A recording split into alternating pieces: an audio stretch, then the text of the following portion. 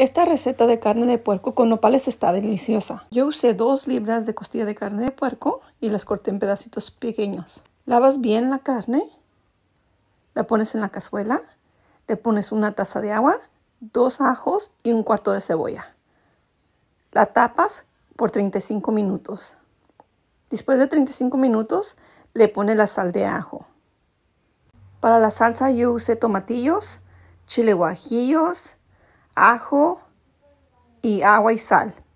Rostiza los chiles, nomás te aseguras que no se te quemen. Pones todo en la licuadora, lo mueles bien molido.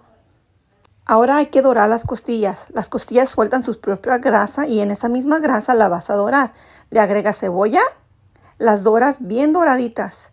Después le quitas el exceso de grasa para que no queden muy mantecosas.